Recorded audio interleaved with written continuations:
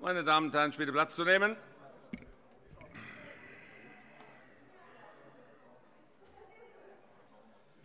Ich begrüße Sie alle sehr herzlich zu unserer heutigen Plenarsitzung am 4. Februar. Ich freue mich, dass Sie da sind. Ich wünsche Ihnen alles Gute und uns allen eine gut geplante und auch vom zeitlichen Limit her gut organisierte Sitzung. Ich stelle die Beschlussfähigkeit des Hauses fest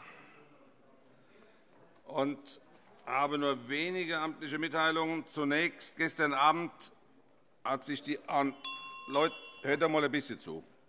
Gestern Abend hat sich die Enquetekommission Mobilität der Zukunft in Hessen konstituiert und den Abg. Markus Meysner, Fulda, zum Vorsitzenden gewählt.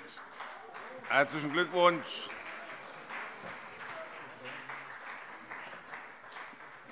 Zur Tagesordnung. Wir haben uns interfraktionell darauf verständigt, das geht auch noch, dass der Tagesordnungspunkt 36 meine Damen und Herren, wir haben uns interfraktionell darauf verständigt, dass der Tagesordnungspunkt 36, der Antrag der Fraktion der SPD, betreffend Anpassung des hessischen Wolfsmanagements, Drucksache 20-2916, abschließend in den ULA überwiesen werden soll. Das ist die allgemeine Meinung hier. Dann machen wir das so. Wir tagen heute bis zur Erledigung der Gesetzeslesungen, und alle sind äh, angehalten, zügig zu tagen. Wir beginnen im Anschluss an die amtlichen Mitteilungen mit den Aktuellen Stunden eine ca. 45-minütige Mittagspause ist nach dem Tagesordnungspunkt 56, dem Sitzpunkt der Fraktion der Freien Demokraten, vorgesehen. Also, ich habe es nicht aufgeschrieben, aber ich halte mich immer an das.